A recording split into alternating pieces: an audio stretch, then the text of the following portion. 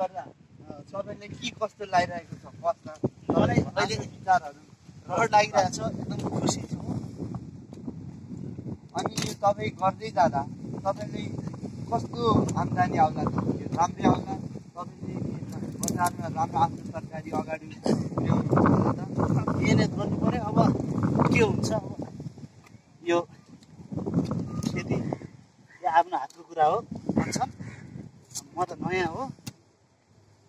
फाइदा पाउनको लागि लगानी त गर्नै पर्छ। तपाईँले लगानी चाहिँ कति पुर्याउनु भएको छ? अहिले अब चार भेटिसक्यो अब दुइटा गाई हाल्ने भने। ए त्यसो भए तपाईँको गाई हाल्नु पर्छ राम्रै त राइट? अब गाई खाउँ अब यो गर्ने अब कस्तो हुन्छ? अब यदि तपाईँले धेरै आम्दानी भयो भने यसलाई अब ठुलो बनाउने ठुलो सबै जग्गा पनि दिने गर्नुहुन्छ अब अझै जग्गा दिने मान्छेहरू कामदारहरू पनि राख्नुहुन्छ। अनि गाई चाहिँ कतिसम्म किन्न विचार गर्नु? अब अहिले दुइटा गाई। अनि यो गाई पालन कृषि पालन अरू केही सोच्नु भएको?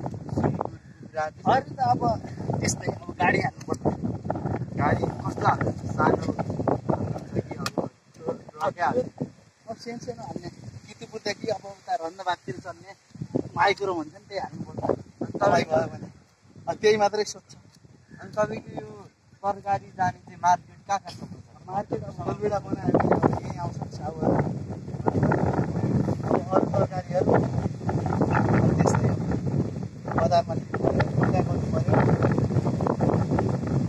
तपाईँको मात्र हुन्छ बाहिर अब फलबिडा साउ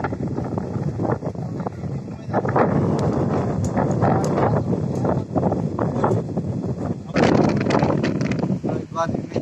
God like us.